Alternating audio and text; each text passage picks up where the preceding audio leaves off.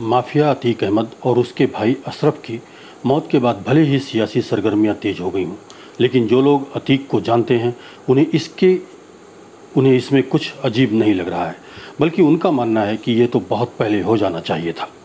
दरअसल अतीक जिस अंदाज में बाहुबली बना था, उसी अंदाज में उसका अंत भी हुआ। कम समय में अधिक पैसा कमाने और अपना रुतबा काम करने के ललक ने उसे अपराधी बना दिया। उसे यह पता था कि कम समय में यह सब कुछ हासिल करने का दूसरा रास्ता नहीं हो सकता।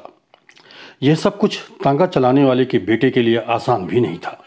लेकिन कहते हैं ना कि जहाँ चाह, वहाँ राह।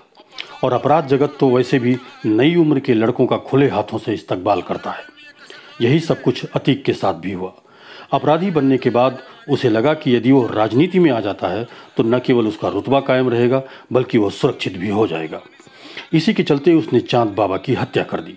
चाँद बाबा कारपोरेटर था और एक खूंखार बमबाज के रूप में कुख्यात था। उसके मरते ही अतीक इलाहाबाद के अपराध जगत का बेताज बादशाह बन गया। स्थानीय भाषा में कहें तो उसकी हनक कायम हो गई। फिर शुरू हुआ वह सफ़र, जिसकी उसे चाहत थी।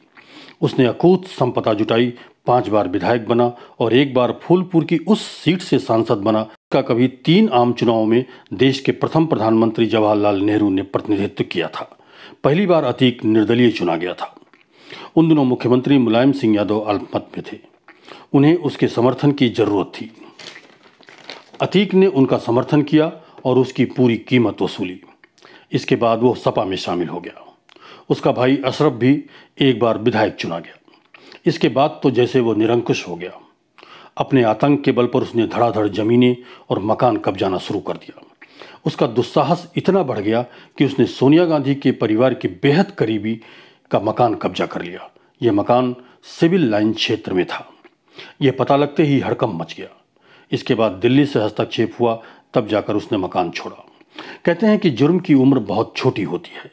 चाँद बाबा की हत्या से शुरू हुआ यह सफ़र बसपा विधायक राजू पाल की हत्या के बाद धीमा होना शुरू हो गया था। उसकी हर तरफ़ से घेराबंदी शुरू हो गई, लेकिन अहंकार में डूबा अतीक यह समझ ही नहीं पाया। इसके बाद उमेश पाल की हत्या ने उसके साम्राज्य को तहस नहस कर दिया। जिस तरह उसने दूसरों की हत्याएँ की, उसी अंदाज में वो भी मारा गया। उसका भाई अशरफ, पाँच में से एक बेटा असद भी मारे गए। बीवी साइस्ता परवीन भागी भागी घूम रही है। दो बड़े बेटे जेल में हैं और दो नाबालिग बेटे सुधार गृह में हैं। दरअसल अपराध की दुनिया ऐसी भूल भुलैया है, जिसमें एक बार प्रवेश करने के बाद बाहर निकलना मुश्किल हो जाता है। अतीक भी इसके तिलिस्मी सम्मोहन में फंस कर रह गया।